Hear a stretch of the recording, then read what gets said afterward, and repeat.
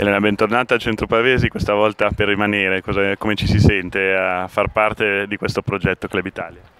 Sì, sono molto contenta di essere qui perché comunque è un progetto che, che mi piace, dove ci sono molte ragazze giovani, un po' mi, mi, fa strano, però sono molto fiduciosa e sono contenta di avere anche questa responsabilità.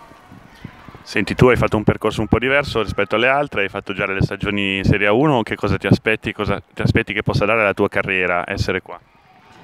Ma mm, io sono qua per, per lavorare perché comunque voglio, voglio, crescere ancora perché mm, sì, sono, sono, contenta di aver fatto comunque già altre esperienze in Serie A che mi possono aiutare, però voglio anche poter essere io adesso ad aiutare anche loro e comunque fare un, una bella annata perché siamo tutte ragazze giovani che abbiamo voglia di crescere, di far bene e quindi sono son convinta che sarà così.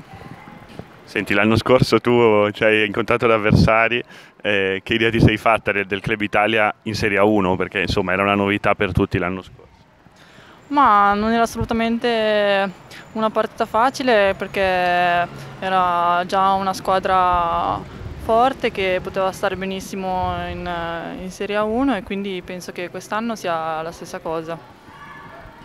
Senti, tu eh, sei di, nella provincia di Varese e insomma giocare a Busto sarà uno stimolo in più per te, vuoi invitare i tifosi a venirci a vedere?